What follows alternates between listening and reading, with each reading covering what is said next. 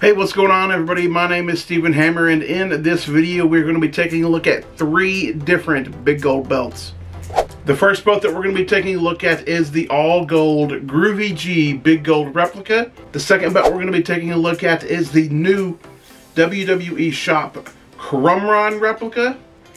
And then lastly, we'll take a look at my Fandu Luxe uh, dual-plated big gold that I just painted gold using Testors paint. So we're going to take a look at all three of these big gold belts.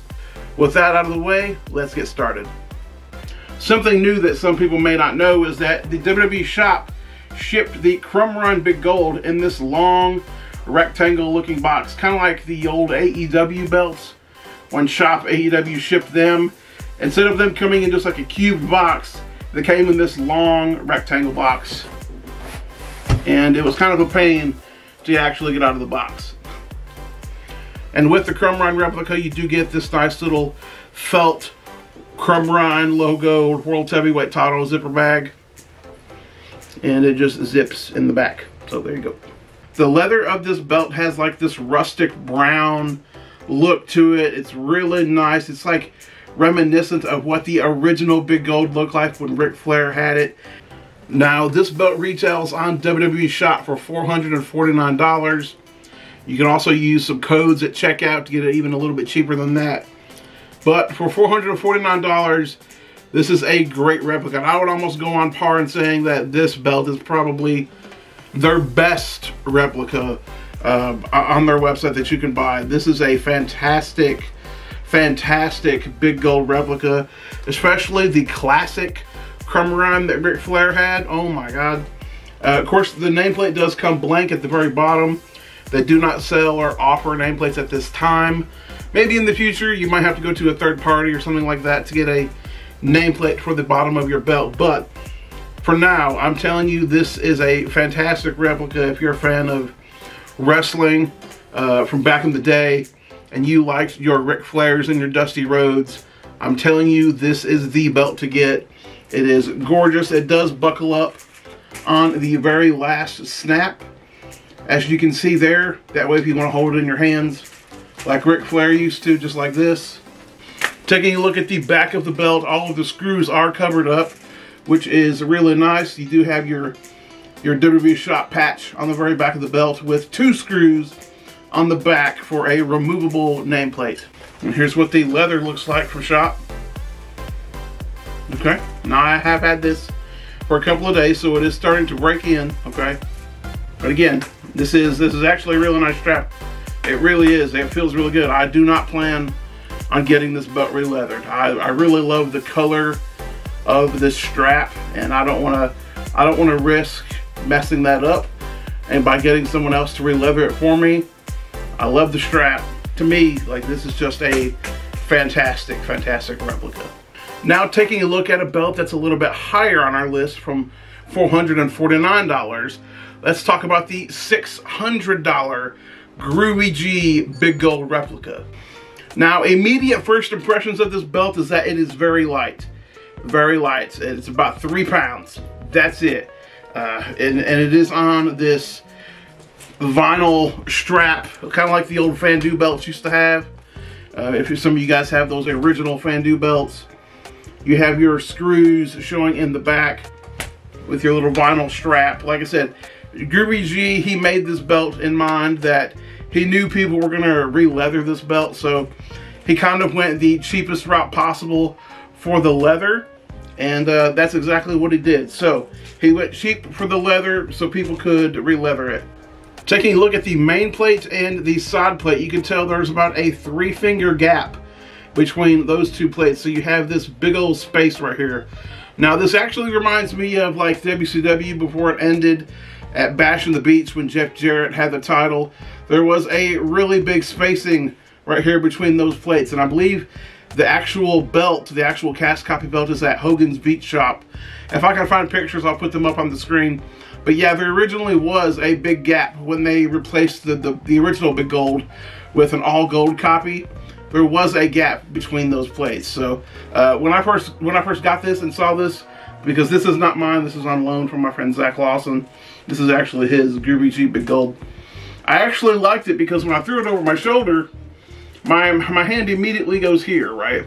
To hold the belt. Normally when you hold a belt, you normally hold it at the first side plate and you can't see that side plate.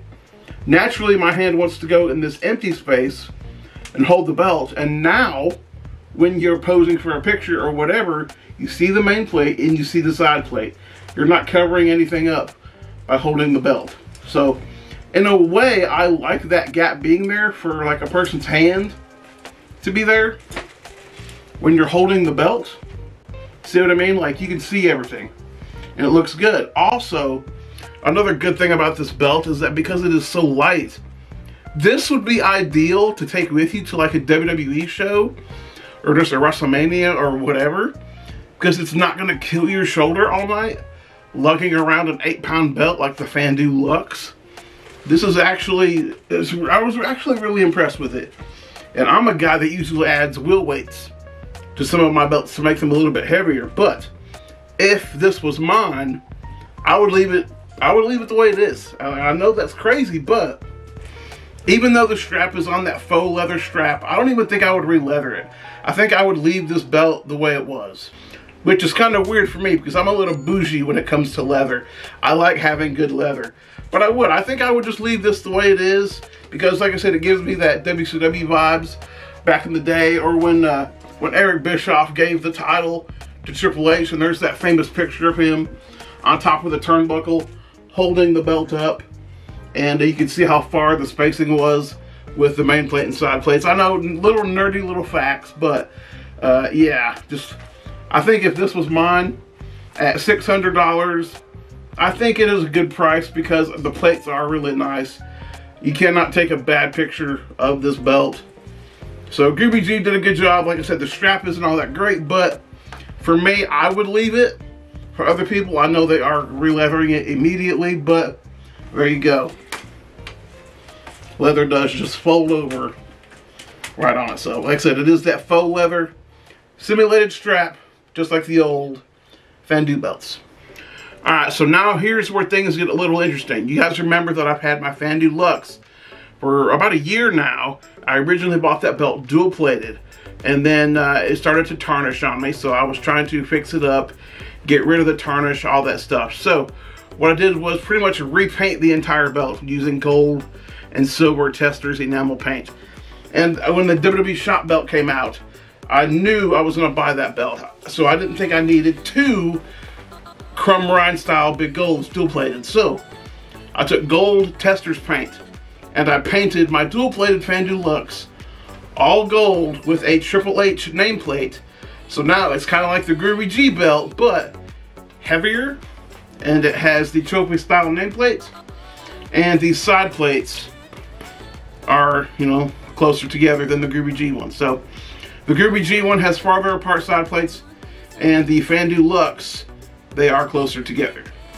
Now I believe this belt cost about 750 for the dual plated version. I could be wrong. I'd have to look it up on their website, but I'm pretty sure it is $750 for the Fandu Luxe belt. Of course, it does not come with this trophy style nameplate. It comes with the classic Crumrine style, but also this belt weighs eight pounds, so it is a lot heavier than the Groovy G belt as well. The Fandu Luxe does snap up on the very last step in the back of the belt if you want to hold it Ric Flair style, just like this. Okay, and another thing is the screws are covered on the back of the belt except for where you have your nameplate. So all of the screws are covered on the Fandu Luxe. As far as the leather goes on the Fandu Luxe, this is a thicker leather compared to their older straps or like the Groovy G belt. This is a thicker leather strap. One thing I love is just how thin that Ric Flair nameplate is on the Groovy G. I see some out there that get made and the nameplates are going to be like 6 millimeters big and I just think that's overkill. This one right here looks really good. It looks really nice. It kind of just fits in perfectly. I know a lot of people are thinking right now, why would you buy a $600 belt? and then have to turn around and pay about $300 to re-leather it. Well, a lot of people did that with the AEW belt that cost $800 and then bought a $300 real leather strap. So, uh, yeah, in my opinion, it's worth it. Like I said, me, I would probably leave it the way it is just for my own personal taste. Next, let's move along to the Fandu Luxe. Like I said, Triple H nameplate that I got from Fandu Belts.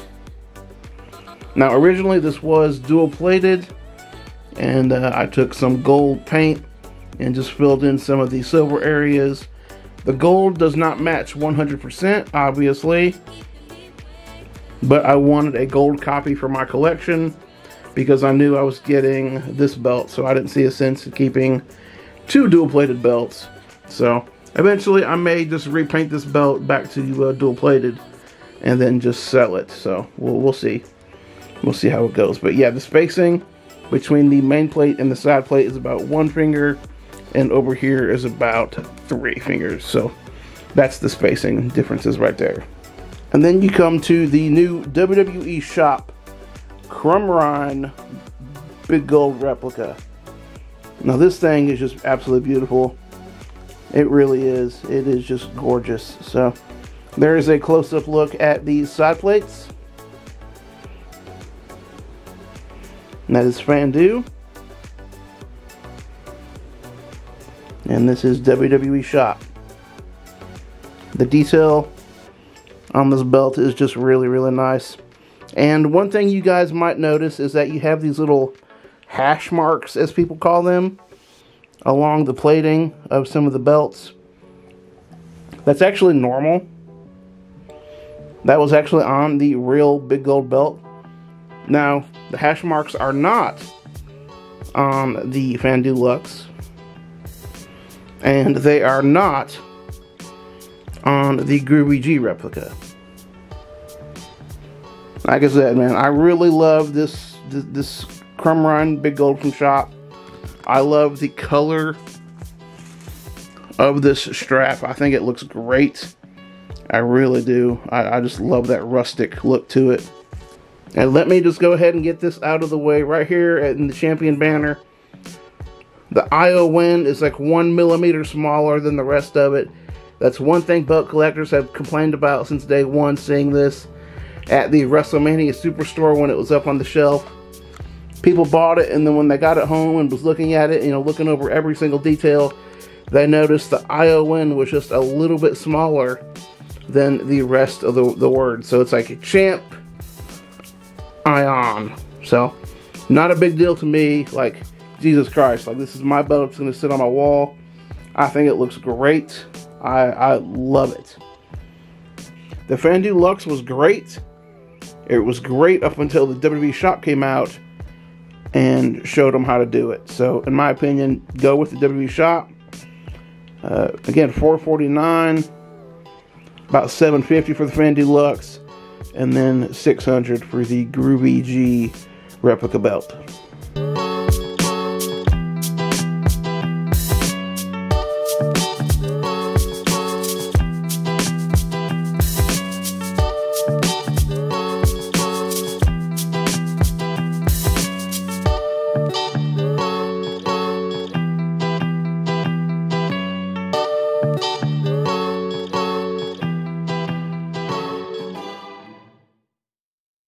Thank you guys so much for watching this video. If you like this video, give it a like.